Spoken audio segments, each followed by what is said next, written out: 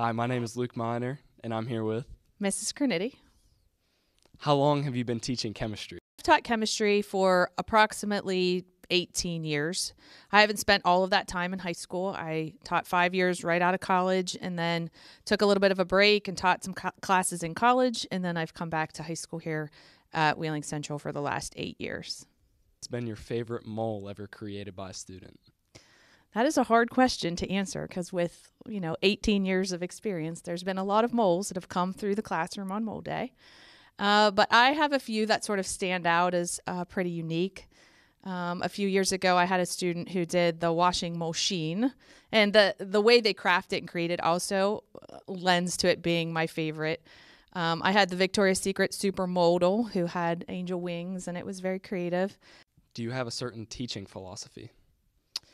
My philosophy with teaching is that you have to keep it fresh.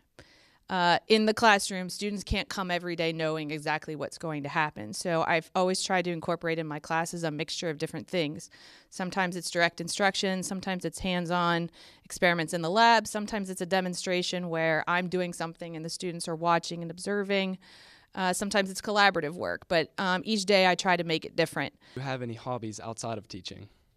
I actually do have some hobbies outside of teaching. Um, I enjoy reading, actually. I don't always have a lot of time to read, but I do enjoy that. Have you ever had any major lab accidents?